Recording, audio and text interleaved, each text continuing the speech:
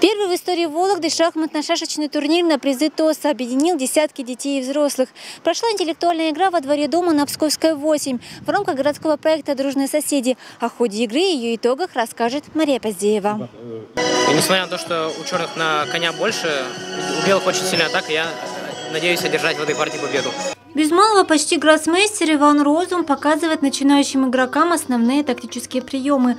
Это сеанс одновременной игры мастер спорта международного класса против сразу 14 соперников. Я подхожу, делаю ход, они думают потом, когда я, ну то есть по кругу я так хожу, вот когда я подхожу к столику, соперник делает ход, и я отвечаю, дальше иду, в общем.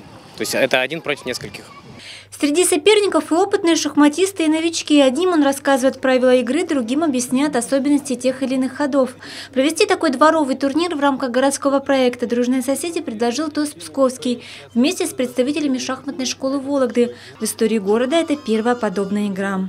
Раньше во дворах были игры, люди общались, более дружелюбные, дети были заняты. Глядя на взрослые, дети подтягивались к таким мероприятиям. Ну, в общем, возродить эту старую традицию, возродить игру, возродить вот это общение, чтобы меньше агрессии было. Точки соприкосновения, как правило, рождают еще что-то новое. Желающих поиграть в шашки и шахматы под открытым небом нашлось немало. Юрий проезжал мимо на велосипеде и не упустил шанса сразиться с профессионалом. А я вообще люблю такие общественные мероприятия, в принципе. И мне стало интересно, я к тому же еще умею играть, так думаю, почему бы и нет.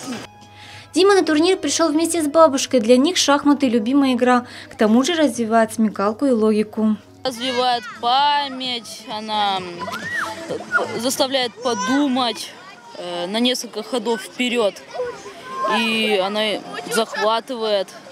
И как в любой игре, здесь есть проигравшие и победители. Все 14 партий в шахматы с блеском провел виртуоз Иван Розум. Но новички тоже показали неплохие результаты.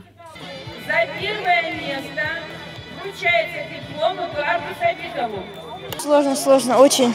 Он так делал все хитро, что я ничего не мог увидеть, что он делал.